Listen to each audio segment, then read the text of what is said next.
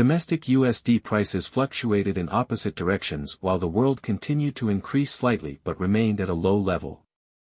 On the morning of October 2, the central exchange rate between VND and USD announced by the State Bank was 24,094 VND, up 13 VND compared to yesterday.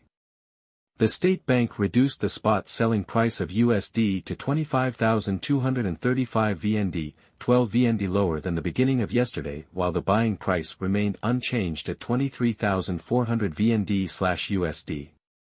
USD prices at banks also increased again. For example, Vietcombank bought USD by transfer at 24,440 VND and sold at 24,780 VND, an increase of 50 VND. Eximbank also added 50 VND, bringing the USD transfer buying price to 24,440 VND and selling price to 24,770 VND. The free USD price continued to decrease to 25,040 VND for buying and 25,100 VND for selling. Compared to the peak of nearly 26,000 VND/USD set at the end of June, the free USD price has now decreased by 900 VND for selling.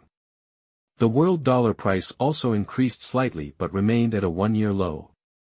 The USD index reached 100.96 points, up 0.42 points from yesterday.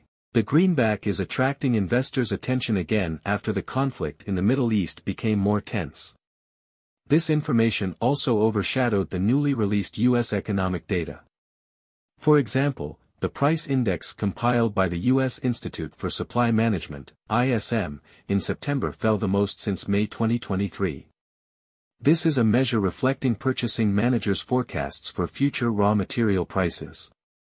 Bloomberg quoted economist Stan Shipley at Evercore ISI as saying that, normally, newly released data would weigh on 10-year Treasury yields, the US dollar and employment stocks. However, the situation in the Middle East is still more important to the Treasury bond market.